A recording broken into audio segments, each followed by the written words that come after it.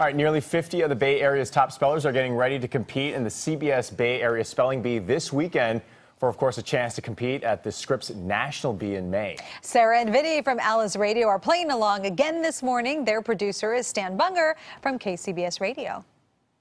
Today's word of the day is cabochon. It's a noun. It means a gem or bead that has been polished but not cut to enhance beauty. Cabochon. Can you say it again? Cabochon.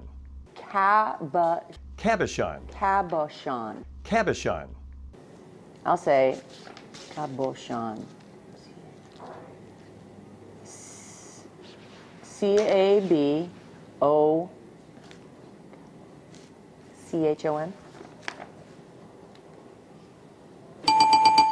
Oh my God! I got it right.